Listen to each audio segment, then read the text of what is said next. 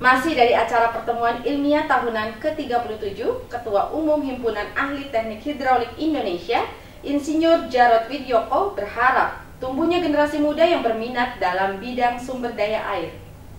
Revolusi 4.0 dan Society 5.0 mendorong masyarakat untuk lebih mempersiapkan diri. Ke depannya, bidang IT akan sangat dibutuhkan, terlebih lagi pada situasi pandemi ini yang mengharuskan segalanya memanfaatkan kemajuan teknologi, informasi, dan komunikasi, khususnya pada pengelolaan sumber daya air. Universitas Gunadarma yang berbasis TIK menjadi wadah himpunan ahli teknik hidraulik atau HATHI dalam menyelenggarakan berbagai aktivitas guna memajukan sumber daya manusia terhadap pengelolaan sumber daya air.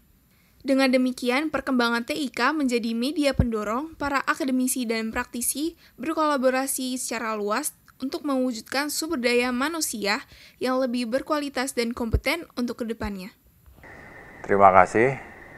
Jadi dengan era pandemi ini kita mau tidak mau uh, terbatasi kondisinya, sehingga uh, hati harus menyesuaikan dan ini dengan mempergunakan IT di mana dengan IT kita bisa lebih uh, jangkauannya bisa lebih luas dan pesertanya di dalam setiap acara ini kami usahakan bisa menjangkau sampai ke yang paling jauh dari Sabang sampai Merauke.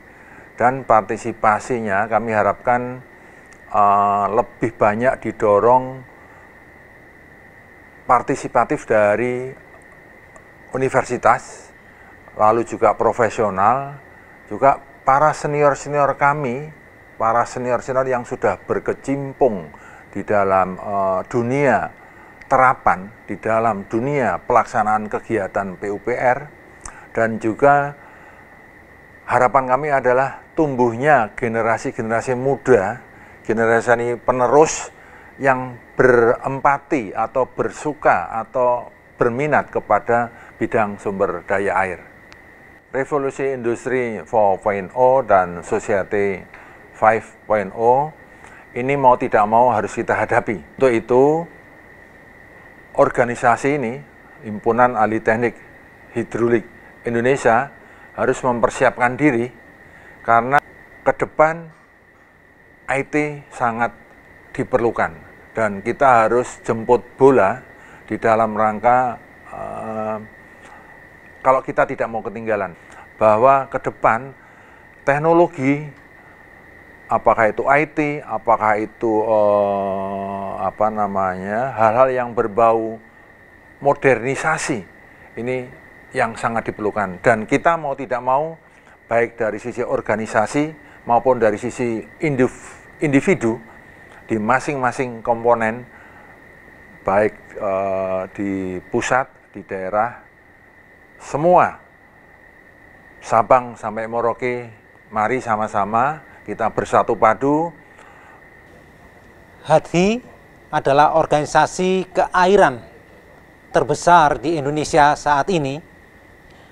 HADI memiliki cabang di 30 tempat, hampir di semua provinsi di Indonesia dengan keanggotaan tercatat lebih dari 4.000 orang ahli hidrolik atau ahli keairan.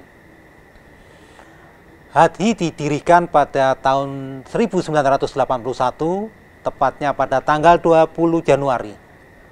Jadi sudah cukup berumur HADI ini.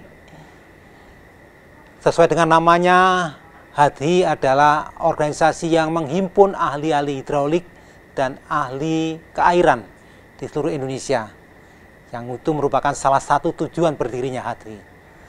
Setelah dihimpun, ahli-ahli itu memiliki kesempatan untuk mengaplikasikan keahliannya setelah memberikan uh, pengabdian atau menerapkan ilmunya, para ahli itu juga berkesempatan untuk mengembangkan keahliannya.